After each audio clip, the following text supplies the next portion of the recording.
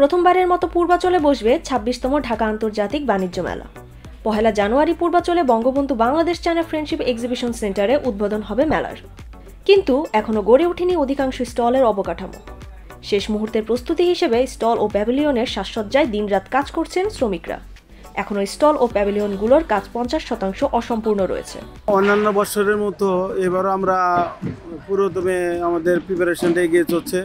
আমরা আশা করি এই দুই দিনের মধ্যে আমাদের এই বাকি কাজ যা বাকি আছে আর কি সেটা আমরা শেষ করতে পারব বলে আমরা আশাবাদী এবং সেইভাবেই আমাদের প্রিপারেশন চলছে এবং সেইভাবে কাজটা এগিয়ে যাচ্ছে।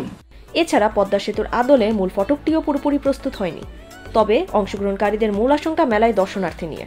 সে ব্যাপারে আমরা অবশ্যই একটু সন্দিহান আছি।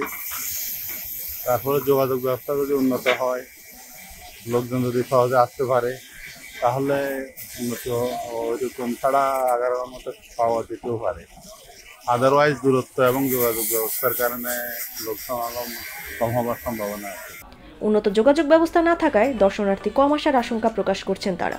কিন্তু অনেকেই আশা করছেন নতুন জায়গা হওয়ায় দর্শনার্থীর সংখ্যা কমবে না। আশা করি আমরা হোপফুলি আশা করি।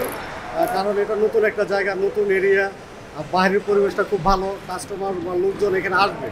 দেখার জন্য হলেও বা আমাদের যে স্টলগুলি আছে, খুব সুন্দর সুন্দর স্টলগুলি হচ্ছে, সবাই আসবে ইনশাল্লাহ গভর্নমেন্টের পক্ষ থেকে যথেষ্ট হেল্প করতেছে, আমরা কোনো ধরনের আশঙ্কার মধ্যে নাই। আল্লাহর মতো আমরা আশা করি ভালো হবে।